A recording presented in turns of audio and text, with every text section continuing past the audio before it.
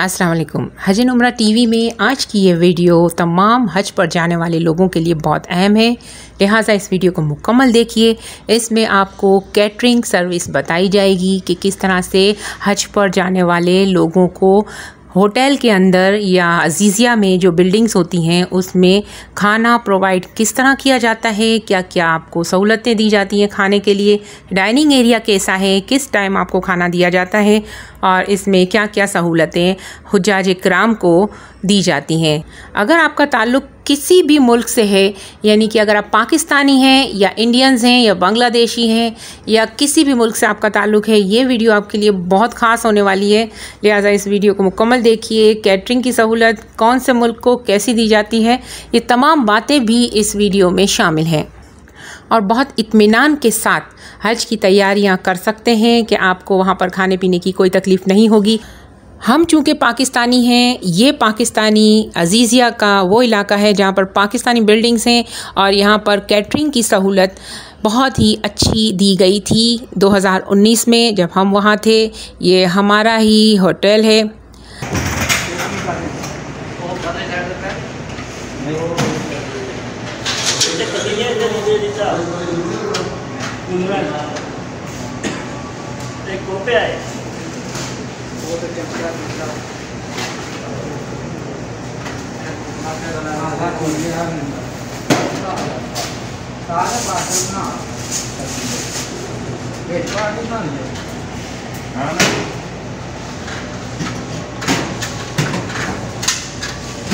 माशा आपकी सफ़ाई बहुत अच्छी है। सफ़ाई का बहुत अच्छा ख्याल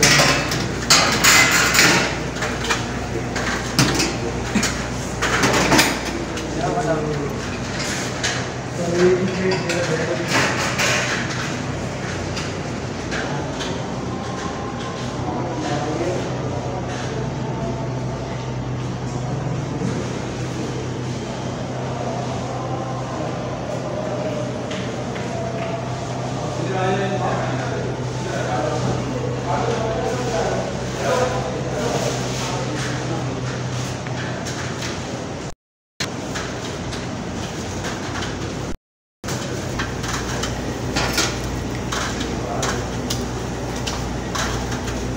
ये हलवा है ना? हलवा और सब्ज़ी है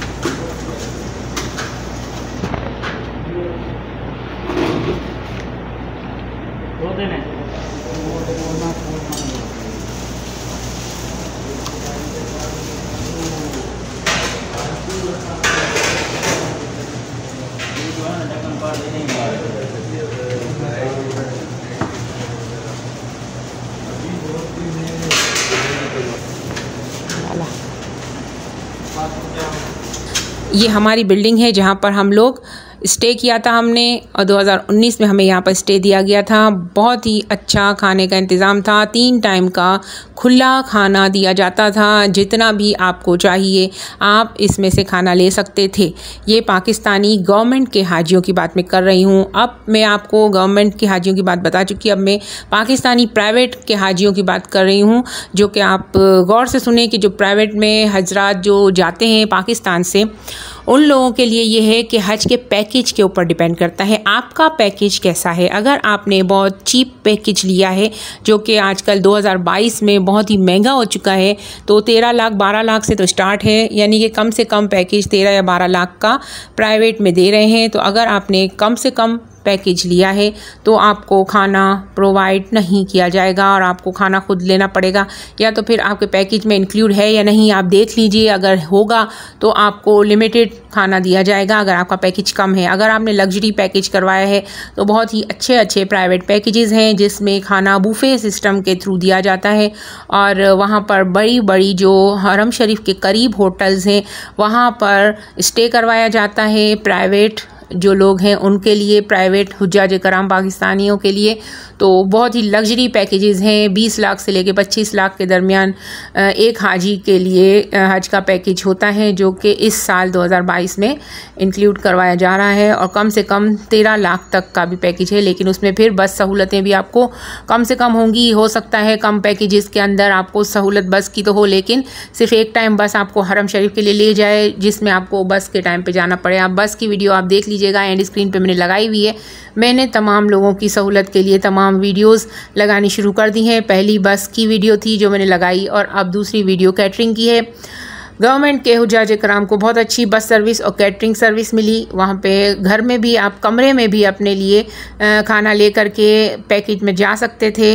आप डाइनिंग एरिया में भी अपनी फैमिली के साथ खाना खा सकते हैं। तो हम लोग इस वक्त यहाँ पर मौजूद हैं और हम चूँकि उम्र करके आए थे तो बहुत ज़्यादा थकन से हम लोग चूर थे, लेकिन मैंने ये कहा कि अभी खाना खाने का वक्त हो गया है, सोने से बेहतर है कि थोड़ी देर वेट कर लिया जाए, खाने का जैसे ही वक्त होगा, हम खाना खाकर फिर ऊपर जाकर सो जाएँगे।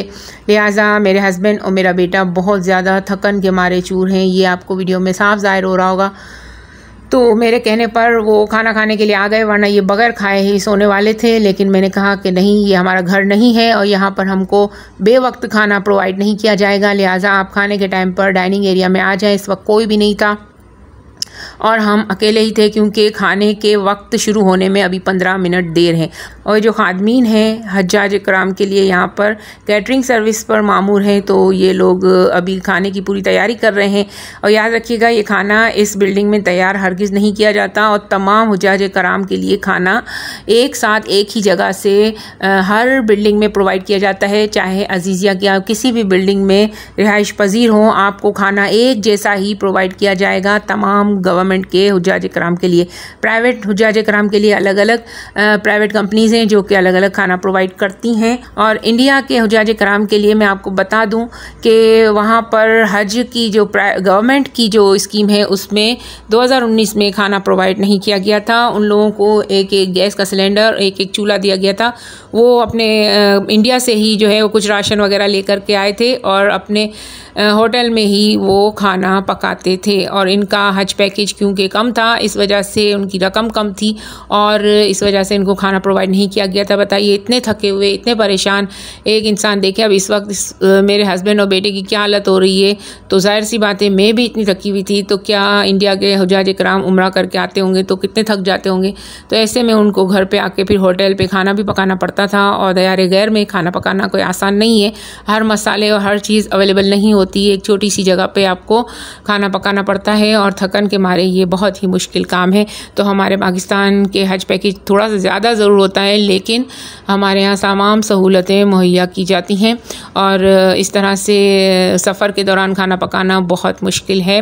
इस लिहाज से हमारा पैकेज बहुत ही अच्छा था। इंडिया वालों ने इस बार आई थिंक हो सकता है खाना प्रोवाइड करने का सोचा हो, लेकिन आप लोग पूछ लीजिए कि आपको क्या क्या सहूलतें दी जाएँगी अगर आपका ताल्लुक इंडिया से है या बांग्लादेश से है। बांग्लादेशियों को भी खाना प्रोवाइड नहीं किया गया था। कुछ जगहों पर और कुछ प्राइवेट टूर पर आए थे तो उन्हें प्रोवाइड किया गया था।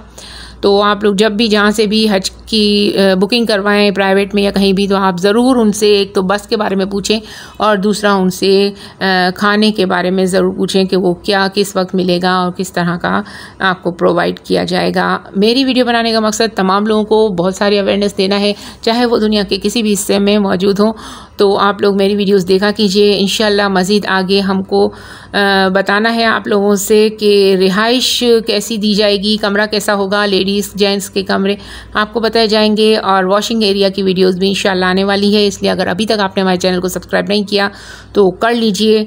हम आपको बहुत सारी नॉलेज देने वाले हैं अपने चैनल हजन उम्र पर और हमारा एक दूसरा चैनल इल्म की शमा है, वहाँ पर भी बहुत सारी हज की पैकिंग की वीडियोस मौजूद हैं। तो आप उस चैनल पर जाकर हज पैकिंग और हज ट्रेनिंग की वीडियोस देख लीजिए इन आपको बहुत काम आने वाली हैं। मुझे दुआ में याद रखिएगा कमेंट ज़रूर कीजिए शेयर कीजिए लाइक कीजिए और हमारी वीडियो को शेयर करके आप सदका जारिया में शामिल हो जाइए। बहुत बहुत शुक्रिया वीडियो देखने का। मुझे दुआ में याद रखिएगा। अल्लाह निगेबान।